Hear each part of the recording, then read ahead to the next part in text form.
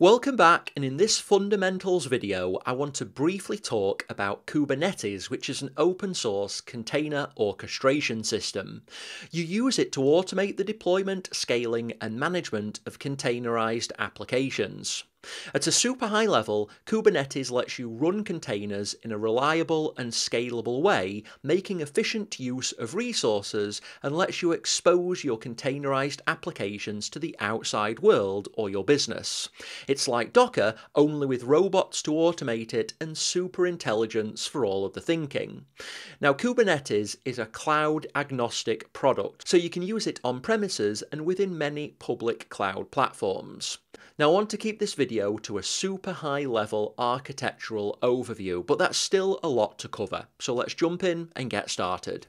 Let's quickly step through the architecture of a Kubernetes cluster. A cluster in Kubernetes is a highly available cluster of compute resources, and these are organised to work as one unit. The cluster starts with the cluster control plane, which is the part which manages the cluster. It performs scheduling, application management, scaling and deployment, and much more. Compute within a Kubernetes cluster is provided via nodes, and these are virtual or physical servers which function as a worker within the cluster. These are the things which actually run your containerized applications. Running on each of the nodes is software, and at minimum, this is containerd or another container runtime, which is the software used to handle your container operations. And next we have kubelet, which is an agent to interact with the cluster control plane. Kubelet running on each of the nodes communicates with the cluster control plane using the Kubernetes API. Now this is the top level functionality of a Kubernetes cluster. The control plane orchestrates containerized applications which run on nodes. But now let's explore the architecture of control planes and nodes in a little bit more detail. On this diagram I've zoomed in a little. We have the control plane at the top and a single cluster node at the bottom, complete with the minimum Docker and kubelet software running for control plane communications. Now I want to step through the main components which might run within the control plane and on the cluster nodes.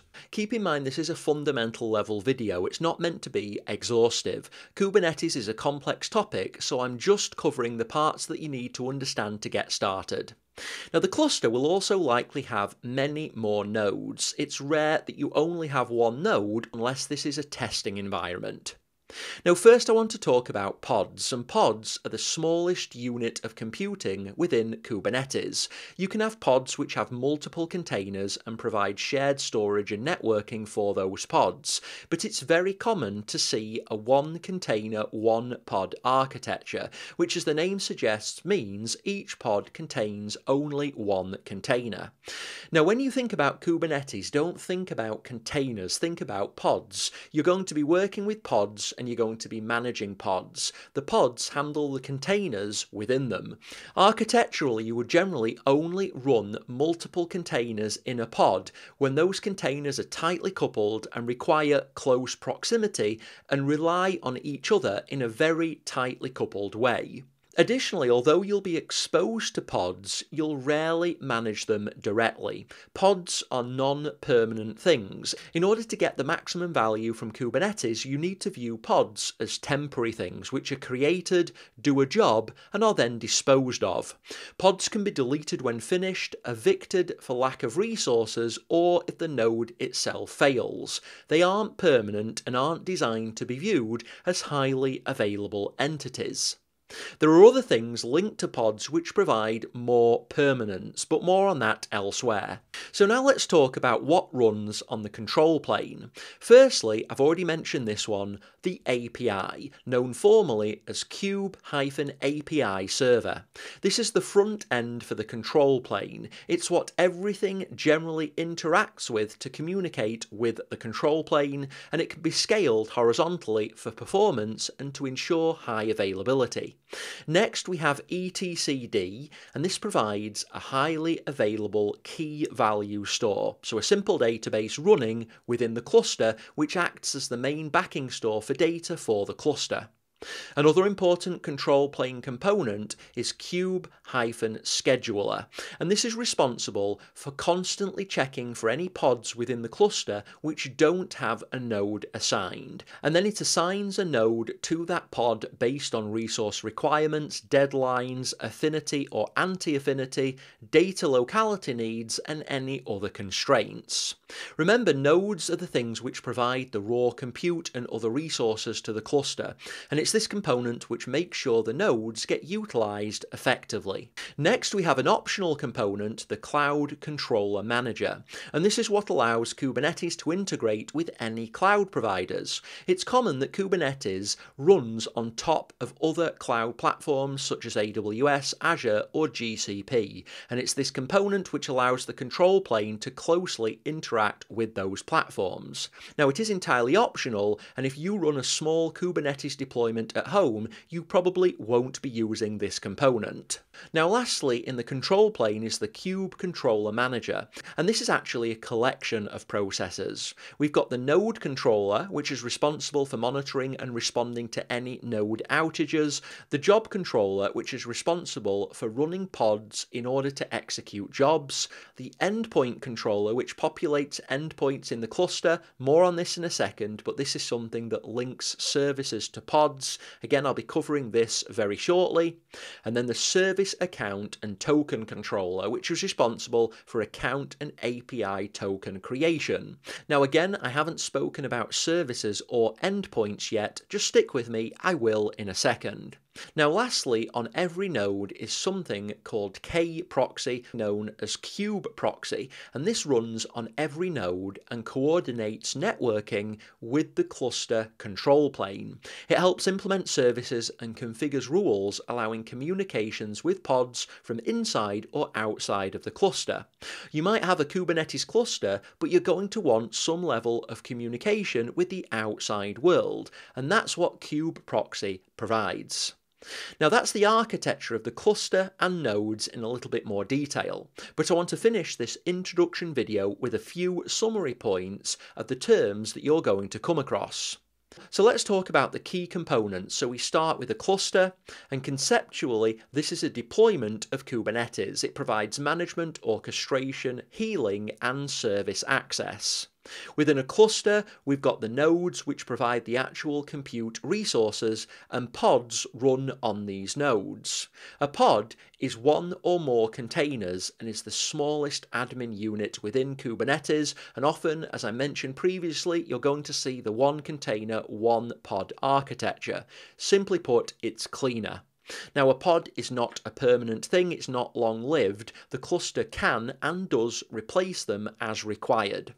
Services provide an abstraction from pods. So the service is typically what you will understand as an application. An application can be containerized across many pods, but the service is the consistent thing, the abstraction. Service is what you interact with if you access a containerized application. Now we've also got a job, and a job is an ad hoc thing inside the cluster.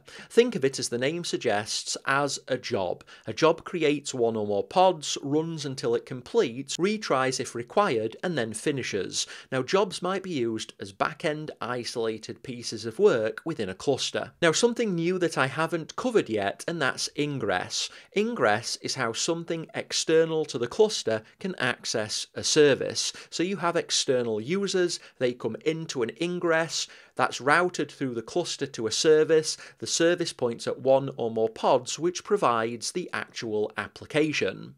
So an ingress is something that you will have exposure to when you start working with Kubernetes.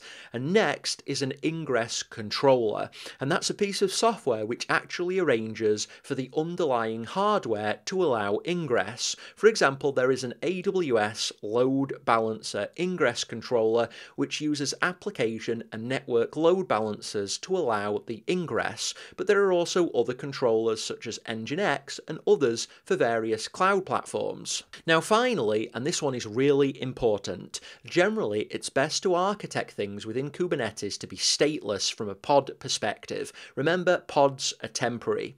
If your application has any form of long-running state, then you need a way to store that state somewhere.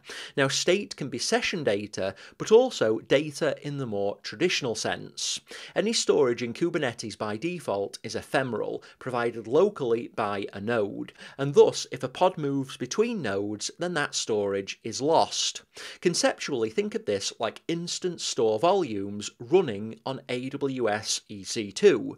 Now, you can configure persistent storage known as persistent volumes or PVs, and these are volumes whose life cycle lives beyond any one single pod which is using them. And this is how you would provision normal long running storage to your containerized applications. Now the details of this are a little bit beyond this introduction level video, but I wanted you to be aware of this functionality.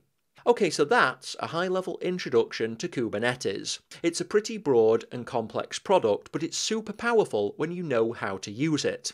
This video only scratches the surface. If you're watching this as part of my AWS courses, then I'm going to have follow up videos which step through how AWS implements Kubernetes with their EKS service. If you're taking any of the more technically deep AWS courses, there may be other deep dive videos into specific areas that you need to be aware of. So there may be additional videos covering individual topics at a much deeper level. If there are no additional videos, then don't worry because that's everything that you need to be aware of. Thanks for watching this video, go ahead and complete the video and when you're ready I look forward to you joining me in the next.